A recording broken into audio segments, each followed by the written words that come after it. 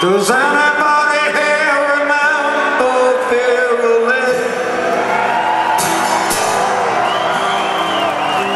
Remember how she said that we would meet again some